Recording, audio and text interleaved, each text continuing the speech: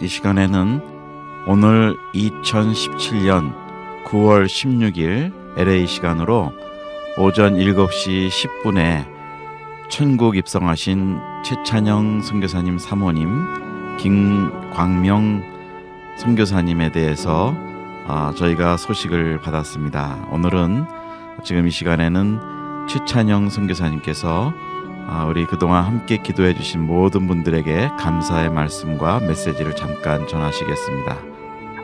오늘 아침 그러니까 2017년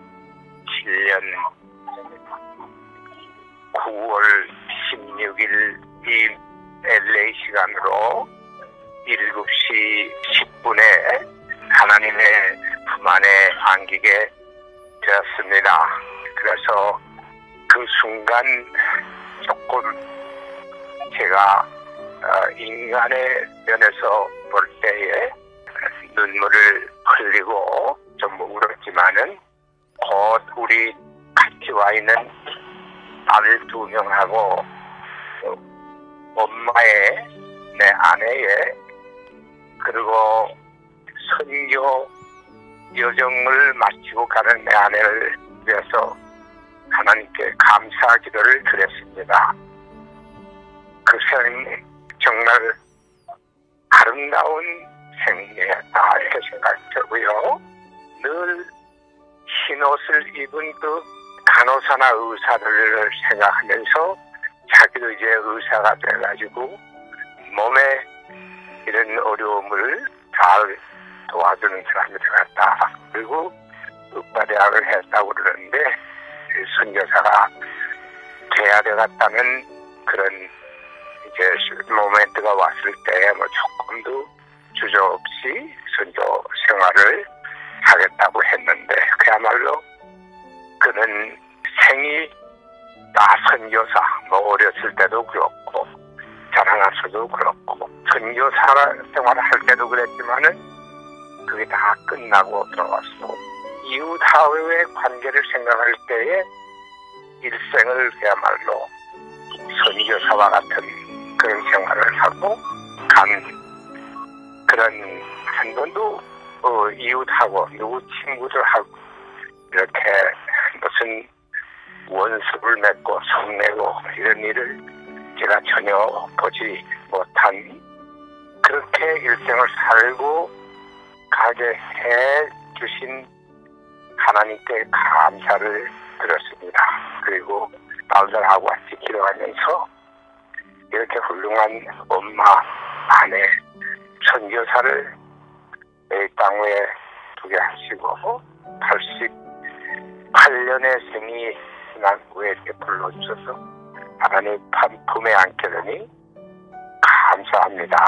이렇게 기도를 올렸습니다.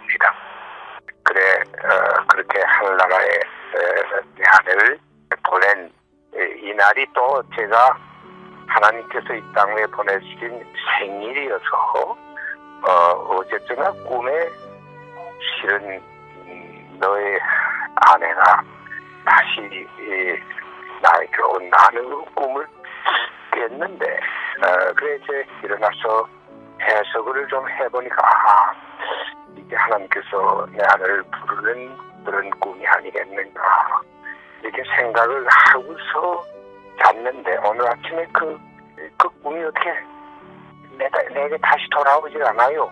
아무리 생각해도 뭐였던가 이렇게 했는데 해석이 안 되는데 아 사실 그것을 미리 하나님께서 가르칠 수 없구나.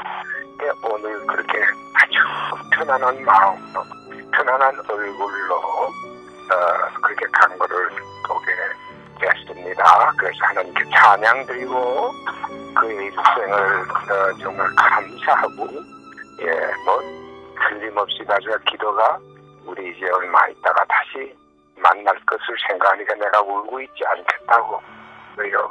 감사하는 반성을 드리고 감사의 그 기도를 드리고 그렇게 해서 소천한 순간을 우리 딸 둘이 참 다행히도 어제 마지막으로 이제 그 늦게 에, 적은 딸이 내려갔는데 두 딸이 있는 가운데서 아, 이제 소천을 지켜보며 지금도 이제 돌아가는 얼굴이지만 얼마나 편안하게 하고 어, 갔는지 막 하나님께 감사하고 찬양드리고 그의 일생 이렇게 이 땅에 왔다가 정말 끝있는 일들을 많이 하고 가게 해주신 귀한 아내, 엄마, 한 선교사 예, 이렇게 얘기하면서 어, 하나님께 찬양을 드렸습니다. 오늘 전 세계에 계신 여러 선교사님들 에, 저희 아내가 이렇게 그 중하게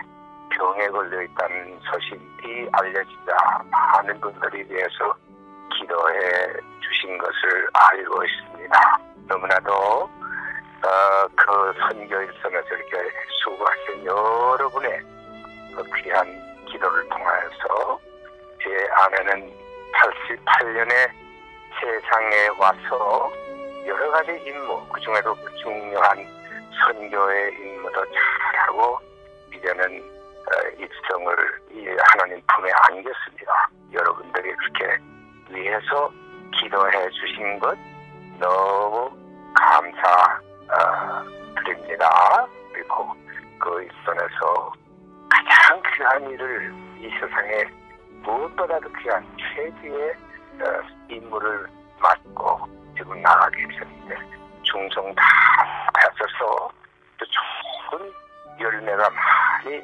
맺히는 그런 훌륭한 선교 역할을 곳곳에서 해주시기를 간절히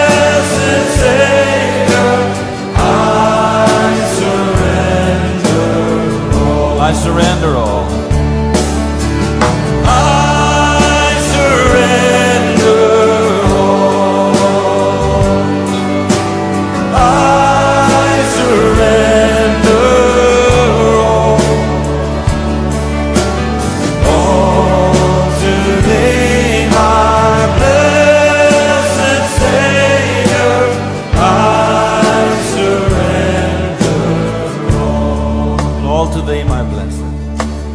All to thee.